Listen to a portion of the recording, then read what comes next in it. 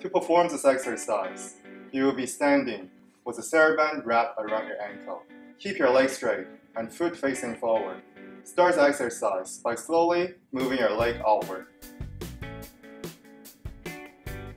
Then move your leg towards each other.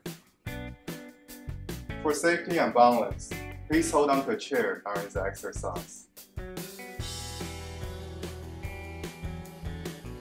The hip adductors are located in your inner thigh.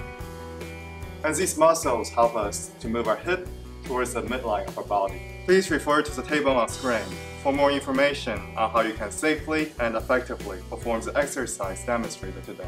Thank you guys for watching the video. Please subscribe to the channel and stay tuned for more videos.